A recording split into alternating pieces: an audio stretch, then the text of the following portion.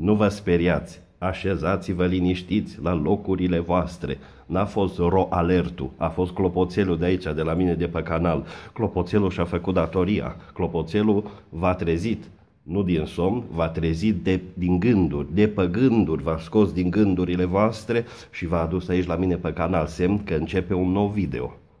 Voi sunteți acolo, eu sunt aici. Eu dau știrile, socra a dat cafeaua, vă spun mai târziu cum le-o dat socra cafeaua, voi dați comentarii. Vi se pare fair? Eu dau știrile, socra cafeaua, voi comentariile. E fair enough? E fair enough. Cum sunteți? Așteptați să vă vină curierii cu ce ați comandat de Black Friday? A, mai durează. Mai durează numai curier să nu fi pe vremurile astea. Numai curier ce ați luat? Laptopuri? Nu. Zice cineva, zice, domnule, n-am găsit laptop, n-am găsit telefon, mi-am luat o motocosă. Bună și aia că era la reduceri, că așa e românul. Dacă au văzut ceva la reduceri, își ia. Nu știe dacă o să folosească ce-o luat, dar așa, Că dacă ia toată lumea, să ia și el. Curierii săraci acum sunt cele mai înjurate persoane după politicieni. Au ei vreo vină? N-au nicio vină. Se deplasează în funcție de cum avem drumuri, ca autostrăzile noastre, vai și amar de ele.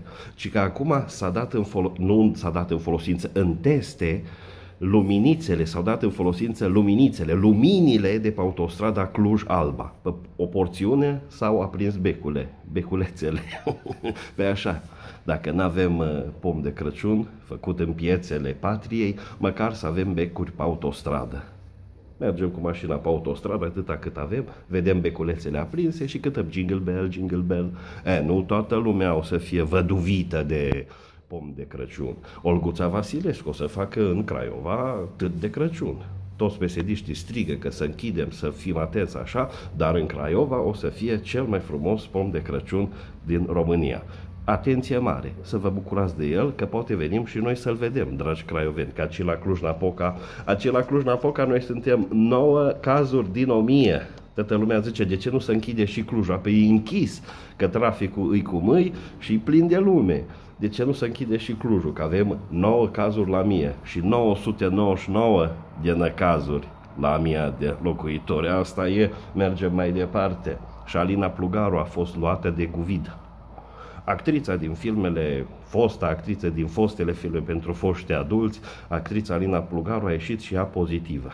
A zis că e singurul lucru pozitiv care i s-a întâmplat de când s-a retras din cariera de actriță de filme dubioase. Sănătate îi dorim și grijă mare unde își bagă termometru. Hai că-s misogin și rău și nu mai continui pe subiectul ăsta fără nicio legătură cu Alina Plugaru, Florin Iordache Cum merge asta? Merge, nu?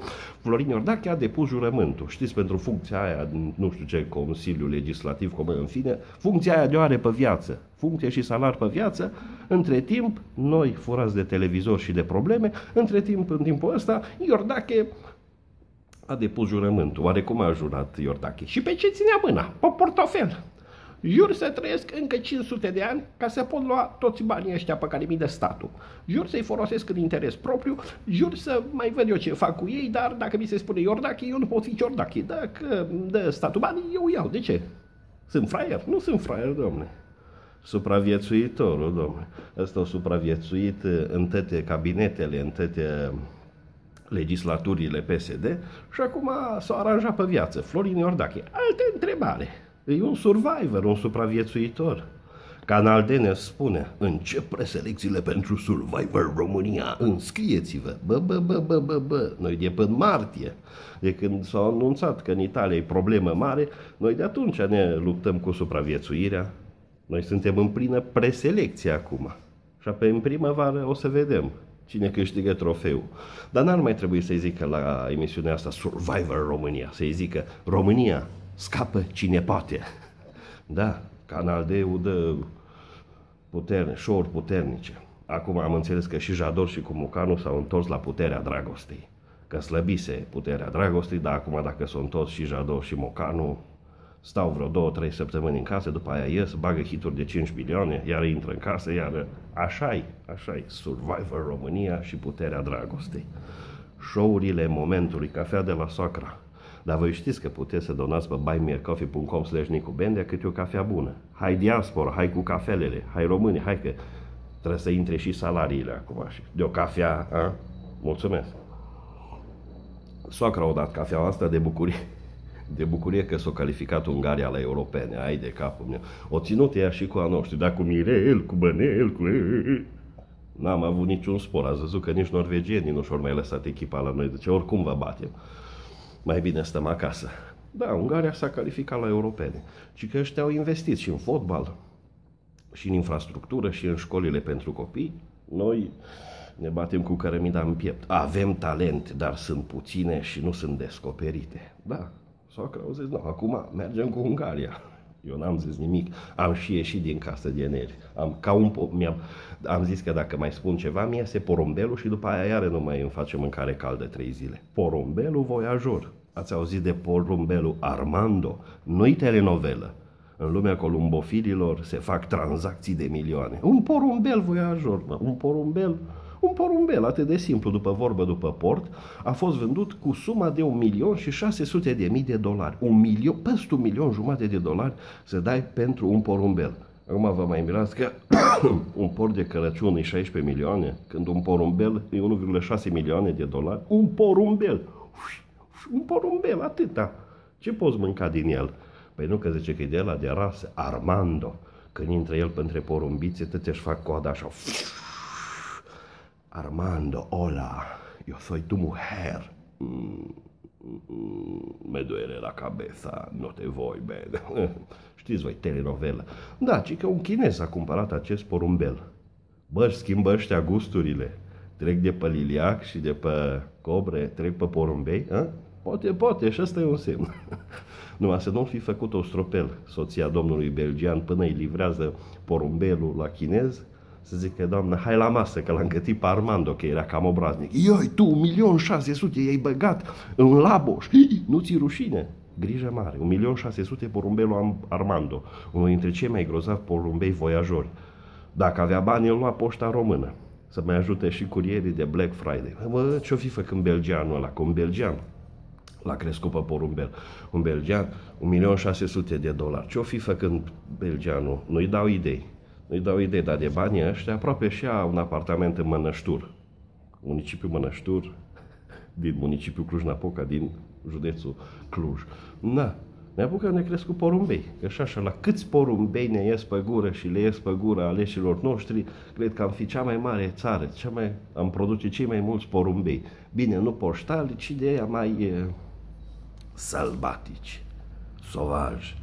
Vorbim acum de conflicte pe Nagorno-Karabakh, pe nu știu pe unde, dar în Rusia un bărbat a fost împușcat pentru că a avut o dispută cu alt bărbat, pe ce temă? Pe tema lui Immanuel Kant. Discutau ăștia filozofia, n-au căzut de acord asupra criticii rațiunii pure, n-au căzut de acord asupra sistemului filozofic al lui Kant și unul dintre ei a scos pistol și pac, l-a împușcat pe celălalt. No, aia dispută, alea idei. Noi ne porcăim aici pe Facebook, pe, pe forumuri, pe Instagramuri, pe alea, alea. Ăștia nu, roșii hotărâți, pac! Cam, da, mi-aduc aminte și eu că tot timpul în facultate, orice facultate ai face, îți vine filozofia în cap și apoi te, mă duceam pe la bibliotecă, mai luam o carte de filozofie, mai citeam din ea, mă mai uitam, a, studenție. Chiar că astăzi e ziua internațională a studenților. La mulți ani, dragi studenți virtuali, ce faceți, cum mergeți? Merg cursurile online, da, laboratoarele. Cei care sunteți la medicină, cum merg secțiile virtuale? Ai de capul meu. Am ajuns să facem toată școala online și apoi așa să ne fie și bolile. Numai online să le avem, virtual, nu real.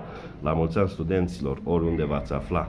Fiți tari, trece și perioada asta. O să ajunge să vă bucurați iară de cămin, de colegi, de studenție, de chefuri de băute. Să vedeți ce povesti la viața voastră. Acum stați un pic pe lângă ai voștri.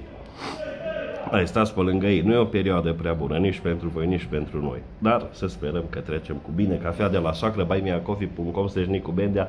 Aștept acolo câte o cafeluță de la voi să vă pomenesc aici pe YouTube. Mulțumesc de abonare. Dați în continuare click la 10, 10 și ceva. Apare video. Discutăm. Aștept comentariile voastre. Să vedem mâine ce discutăm. Sperăm că am trecut de perioada asta urâtă.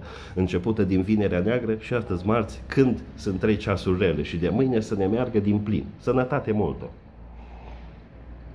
O zi superbă, o zi pe care să nu regretați, să țineți minte cum că a fost o zi bună. De ce? Bă, mi-am început-o cu Bendea pe canalul lui de YouTube.